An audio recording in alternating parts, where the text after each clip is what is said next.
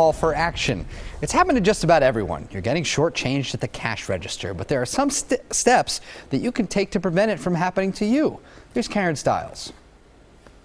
When you make a purchase and pay with cash, you expect the cashier to provide accurate change. However, sometimes this is not the case. Sometimes you get too much back, and sometimes not enough. If you find yourself in the middle of one of these errors, here is what you can do to take action. To avoid a problem, count the cash out loud as you are making the payment.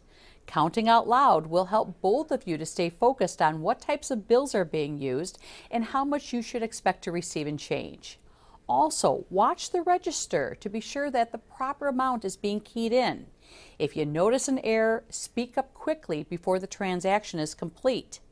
If the transaction has been completed and you notice an error, try to work with the cashier to get things corrected.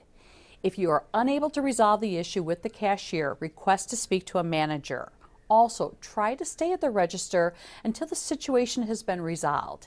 If you continue to experience a problem, you might want to request that the cashier's drawer be pulled and counted. And you might also want to ask if footage from security cameras can be accessed. Sometimes a security camera can pick up important information related to the transaction. On occasion, some of us have left a store with too much or not enough change. If you receive too much, do the right thing and give it back.